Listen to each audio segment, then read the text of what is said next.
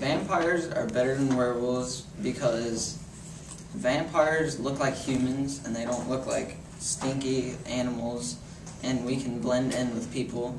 So if you want to be a little ninja, you can, a werewolf couldn't be as stealthy as a vampire.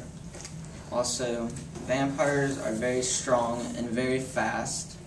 So you could like be like amazing at football or something, basketball, sports or something, and also vampires can they heal after they get injured. So if a vampire got in a fight with a werewolf, a vampire would win because it would like snap its neck, and if the werewolf hurt him, it would just heal, and everything would be okay. So that just makes a werewolf horrible. Um, vampires are vampires are.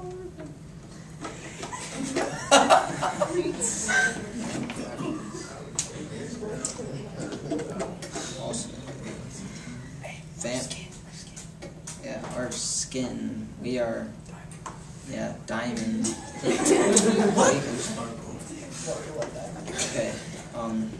So if you're in the sun, you can blend in because the sun reflects off your and vampires you can or werewolves you eat normal food normal and it would be funner to eat a vampire because you could attack people and stuff not just animals.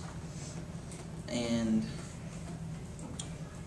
you can turn other people into vampires so werewolves can't do that because they're lame